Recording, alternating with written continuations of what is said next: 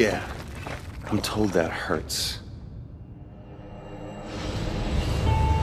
When the dust finally settled, all you could see of Augustine were her eyes peering out from that concrete shell. The rage that had filled them moments earlier was now replaced by fear. We dismantled the fortress she had built, the army she had raised, the future she had planned. The entire world was about to know that she had failed taken down by a gamer, a junkie, and a small town delinquent. The crowds cheered as Augustine was hauled away. Before all this, no one would have imagined that humans and conduits could coexist. And now I was the guy kicking off the second age. Oh, and those conduits who'd spent years locked inside the walls of Curdun Cay, they were soon to be free once again.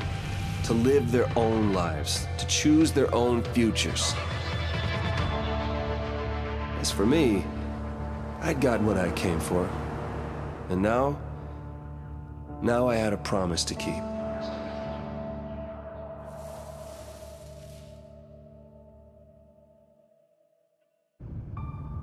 Betty. Dawson. You're here.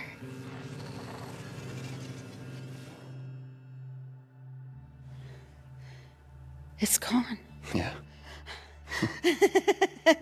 They're all gone. A promise is a promise, right? Huh.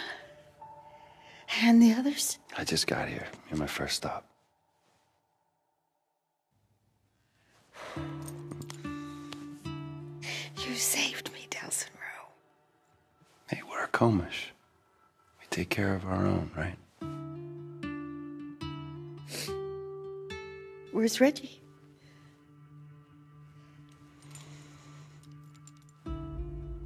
Reggie, uh,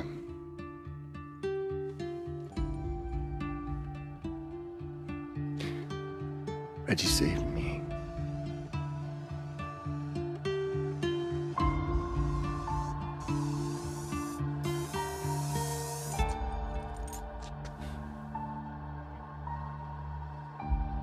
I love you, brother.